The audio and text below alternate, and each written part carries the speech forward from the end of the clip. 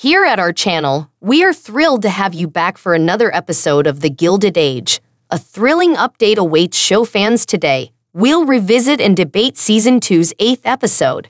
In terms of winning and losing, expect more fascinating drama and surprise twists in this lavish TV series. Jump right in. This episode sees Ryan's home crew wondering their future. Though their roles and home relationships are complicated, they must face their own needs and objectives. Will Ryan's mansion satisfy them, or will they look elsewhere?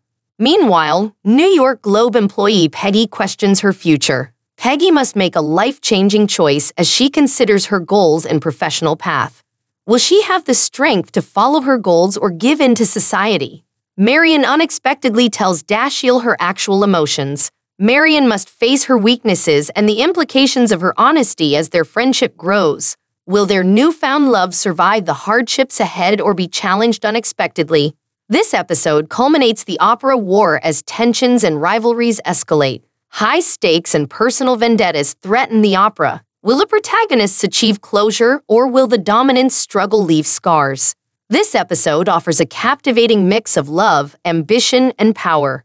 The Gilded Age's beautiful settings, deep tale, and captivating characters continue to attract viewers.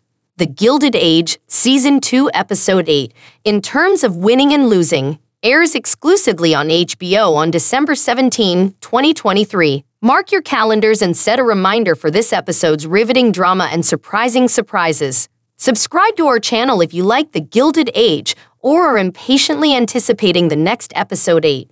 We'll continue to provide recaps, previews, and unique stuff for this lavish TV series. Thanks for watching today's video. We hope you liked reading The Gilded Age Season 2 Episode 8 recap and promo. Don't forget to subscribe and enable notifications to never miss an update. Watch for more interesting news and reviews. Happy viewing till next time.